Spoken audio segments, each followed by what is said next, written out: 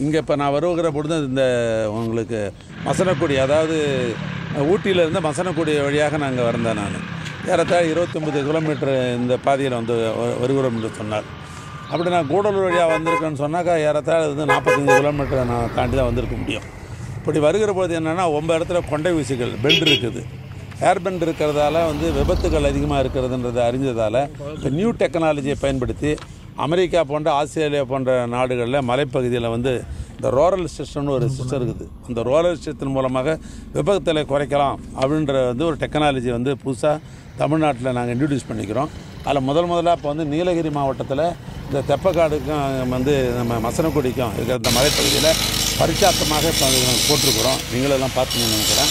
அது வந்து காலப்போக்கில் வந்து தமிழ்நாட்டில் எங்கெங்கெல்லாம் மலைப்பகுதியில் இருக்கிறதோ அந்த பகுதிகளெல்லாம் இது நியூ டெக்னாலஜியை பயன்படுத்தலாம் அப்படின்னு நான் முடிவு பண்ணியிருக்கிறோம். அந்த நியூ டெக்னாலஜி பயன்படுத்துகிற காரணத்தினால் ஹெவி வெஹிக்கிள்ஸ் ஏதாவது வந்துன்னு சொன்னாக்கா வண்டி வந்து கவுறதுக்கு வாய்ப்பு கிடையாது. அது மோதிச்சுன்னு சொன்னால் மீண்டும் அந்த ரோடுக்கே கொண்டு வர்ற அளவுக்கு தான் டெக்னாலஜி இருக்குது. அதைத்தான் பரிச்சாத்தமாக நாங்கள் பண்ணியிருக்கிறோம். இது தமிழ்நாட்டில் எல்லா மலைப்பகுதியிலையும் இது நாங்கள் கடைப்பிடிக்கிறோம். தெப்பக்காடு சாலையில் ஏற்கனவே காட்டு வெள்ளம் போகிற இந்த பகுதியில் ஏற்கனவே ஒரு சிறு பாலம் கட்டப்பட்டு அதெல்லாம் அடித்து போயப்பட்டு இன்றைய இருக்கிற சூழ்நிலையில் புதிதாக ஒரு ஒப்பந்தம் கோரப்பட்டு ஏறத்தாழ ரெண்டு கோடி ரூபாய்க்கு அந்த ஒப்பந்தம் கோரப்பட்டு அந்த ஒப்பந்ததாரர் எடுக்கப்பட்டு பணிகள் தொடங்கிய நிலையில் இருக்கிறோம். அது வந்து ரெண்டு ஸ்பேன் அது.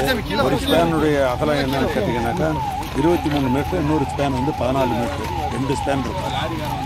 அதே நேரத்தில் அகலம் என்று பார்த்தால் ஆறு புள்ளி இருபது மீட்டர் அகலம் உள்ளது.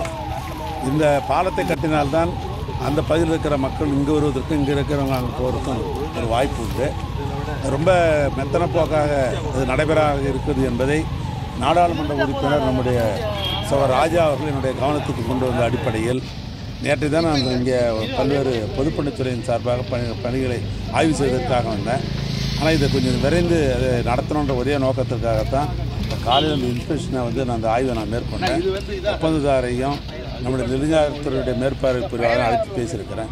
இந்த குறிப்பிட்ட காலத்துக்குள் இதற்கு ஏற்கனவே கால அளவு வந்து ஒன்பது மாதம் நாங்கள் ஏற்கனவே ஒப்பந்தத்தில் சொல்லியிருக்கிறோம். அதுக்குள்ளே கட்டி முடிக்கணும். அதோடு மட்டுமல்ல மழை காலங்களில் இந்த பாலம் கட்டாமல் இருந்தால் என்று சொன்னால் பல்வேறு நிலையில் மக்கள் போக்குவரத்திற்கு இடையூறாக இருக்கும். ஆனால் மழை காலத்துக்கு முன்னாலே இதை செய்து முடிக்க வேண்டும் என்று தொடர்ந்து மாவட்ட ஆட்சித்தலைவர்கள் எங்களிடத்தில் தொலைபேசியில் தொடர்பு கொண்டு பல்வேறு நிலையை வலியுறுத்தியிருக்கிறார்கள். ஆனால் துறையினுடைய அதிகாரிகளையும் கூப்பிட்டு அழைத்து பேசியிருக்கிறேன். அதே போன்று ஒன்பதுதார ஒப்பந்ததாரையும் அழைத்து பேசியிருக்கிறேன். இது குறிப்பாக இது வனத்துறையில் இருக்கிற காரணத்தினால் வனத்துறை அலுவலர்களும் இது கொஞ்சம் கூடுதலாக எங்களுக்கு ஒரு ஒத்துழைப்பினர்களாக தான் அந்த பாலத்தை அமைக்க முடியும். எனவே வனத்துறை அதிகாரியும் கூப்பிட்டு நான் சொல்லியிருக்கிறேன்.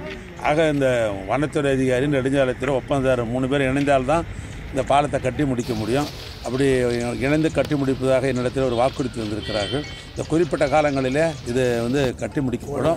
துறையின் சார்பாக நாங்கள் இது இந்த- இது வந்து இதை பொறுத்தளவுக்கு நான் வந்து மாதம் மாதம் என்னுடைய ப்ராக்கர்ஸ் என்னான்றதை நான் பார்த்து கொண்டிருப்பேன்.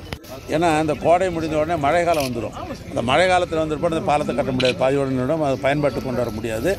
அதனால் மாதத்துக்கு ஒரு முறை வந்து நான் இதை வந்து நான் மானிட்டரிங் கட்டாயம் பண்ணுவேன். நான் குறிப்பிட்ட காலத்திலே இந்த கட்டாயம் இந்த பாலம் கட்டி மலைப்பாதையில இல்லை இப்போ என்னன்னு கேட்டிங்கனாக்கா இயற்கையாகவே வந்து காடுகளை வந்து வனங்களை பாதுகாப்பதுன்றது ஒரு முக்கியமானது உண்டு. ஏன்னா காடுகள் வனங்கள் பாதுகாப்பாக தான் மனுஷனும் வாழ முடியும் வனங்களும் வாழ முடியும். அது இன்னொரு பக்கம் மனித வாழ்க்கைக்கு வந்து சாலைகள் என்பது அத்தியாவசியமானது. ஏற்கனவே இருந்த அடிப்படையில் வந்து சாலைகள் வந்து ஒரு குறுகிய சாலையை போட்டிருக்கோம் மூன்றரை மூன்றரை மீட்டர் சாலை போட்டிருக்கோம். ஒரு அஞ்சு மீட்டர் ஆக்கியிருக்கோம் வாகனங்களுடைய எண்ணிக்கை அதிகமாகுது போக்குவரத்துடைய எண்ணிக்கை அதிகமாகும் போது சாலைகளை விரிவுபடுத்த வேண்டிய கட்டாயம் இருக்குது. சாலைகள் விரிவுபடுத்துவது மனிதர்களுக்காக தான் மனித வாழ்க்கைக்காக தான். அப்படி பார்க்குற பொழுது இந்த வன பகுதியில் பார்க்கிற பொழுது அந்த வனத்தை காப்பாற்ற வேண்டிய என்ற பொறுப்பு வனத்துறை அதிகாரிக்கு இருக்கிறது சாலைகளை போட்டு தான் ஆகணும்னு சொல்கிறது நெடுஞ்சாலைத்துறைக்கு இருக்கிறது இன்றைக்கு இறப்புத்துறைக்கு இருக்கிற ஒரு பிரச்சனை. அது போன்ற இடங்களில் நாங்கள் மாவட்ட ஆட்சித்தலைவர்களினுடைய கவனத்துக்கு கொண்டு எவைகள்லாம் சாத்தியக்கூறாக இருக்கிறதோ அவைகள்லாம் ஆய்வு செய்து அது சாலைகளை செப்பனிட்டு கொண்டு தான் இருக்கிறோம்.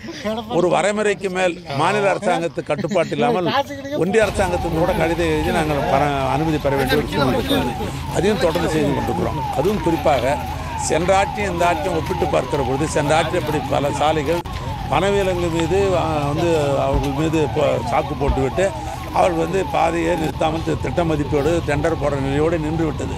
ஆனால் இப்போ வந்து மனு முதலமைச்சர் அவர்கள் மாவட்ட ஆட்சித்தலைவர் ஒரு கூட்டத்தை வந்து கூட்டினார். அதில் முக்கியமாக வந்து சொன்னது என்னன்னு கேட்டால் மாவட்ட ஆட்சித்தலைவர்களுக்கு மாவட்ட வருவாய்த்துறை அதிகாரிகளுக்கு மாவட்ட வனவிலங்கு அதிகாரிகளுக்கு சொன்னது என்னென்னா சாலைகளை விரிவுபடுத்துவதற்கு உடனுக்கு உடனே வந்து வன இலாக்க அதிகாரிகள் நீங்கள் உடனே அதுக்கெல்லாம் நீங்கள் அனுமதிக்கு தரணும் எதனால் அனுமதிக்க கொடுத்தோன்னா அதுக்குரிய காரணங்களை நீங்கள் முறையாக சொல்லணும் என்று சொல்லியிருக்கிறாங்க. இப்போ வந்து எல்லா இடங்கள்லையும் தமிழ்நாடு பூரா விரைந்து நடக்குது.